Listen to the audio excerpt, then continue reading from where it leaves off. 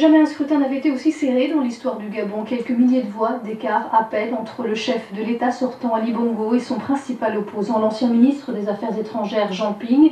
Immédiatement après l'annonce des résultats par le ministre de l'Intérieur, des émeutes ont éclaté. Il y a eu des affrontements entre des manifestants et les forces de l'ordre. Regardez le reportage sur place de notre envoyé spécial Patrick Fandio. Repris en cœur par ses partisans, le nom de leur leader, Jean Ping, le seul vrai président élu du Gabon aux yeux de ses partisans, descendu par centaines sur la quatre voies près du siège de la commission électorale, 30 minutes à peine après l'annonce de la réélection d'Ali Bongo. Un tir de grenade assourdissante pour le début d'une après-midi d'affrontement entre les manifestants et la police anti-émeute, faisant reculer les groupes d'opposants à coups de gaz lacrymogène. Sur la route, déjà les premières barricades en flammes d'une foule en colère.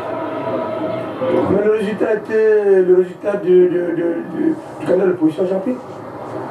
Vous le connaissez, vous connaissez. C'est Jean-Pierre. Pourquoi la population s'élève? C'est pour ça. Hein? C'est pour ça que la population marche pacifiquement. Vous voyez comment sont les gaz et autres. Ce scénario d'une contestation électorale dans la rue après la réélection du président Ali Bongo est tout sauf une surprise, tant les esprits avaient été chauffés par une campagne marquée par une ambiance délétère, des invectives, des insultes et de graves accusations échangées entre les deux principaux candidats. De quoi préparer la rue à ce scénario de crise post-électorale. Un peu plus loin,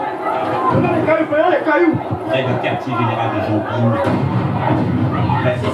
de ses partisans dans une course À quelques centaines de mètres de là, de nombreux bâtiments publics, des restaurants et des commerces brûlés et déjà pillés.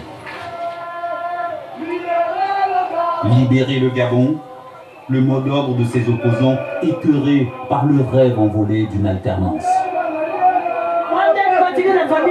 On a marre.